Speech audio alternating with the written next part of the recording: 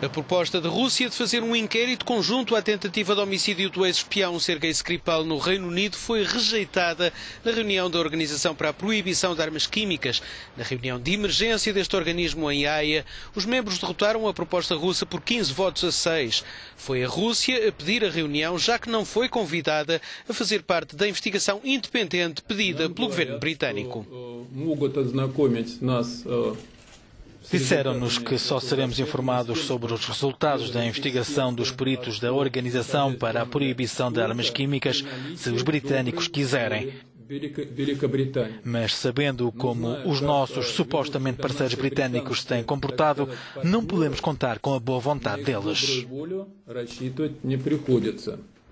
O Reino Unido não hesitou em apontar o dedo ao governo russo pelo envenenamento do antigo espião e da filha na cidade de Salisbury com um agente neurotóxico.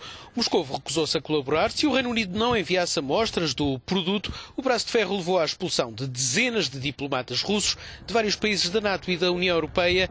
A Rússia teve uma resposta perfeitamente simétrica.